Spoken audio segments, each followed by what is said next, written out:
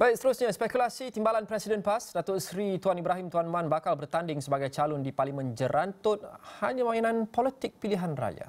Pengurusi Perikatan Nasional Pahang, Datuk Seri Saifuddin Abdullah berkata, desas-desus seperti itu memang biasa berlaku di mana-mana PRU sebelum ini itu desas-desus lah. Desas-desus. Ha, sebab saya pun memanglah kalau saya secara peribadi, yang lain ni dia mungkin tak boleh nak sebut, saya boleh sebut lah. Sebab saya penyandang kursi Indra Mahkota.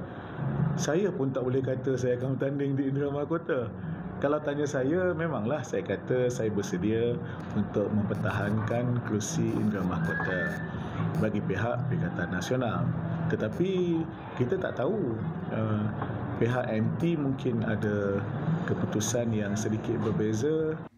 Kesemua nama calon kerusi Parlimen dan kerusi Dewan Undangan Negeri Pahang sudah dicadangkan dan mendapat persetujuan daripada tiga parti gabungan PN iaitu Bersatu, PAS dan Gerakan.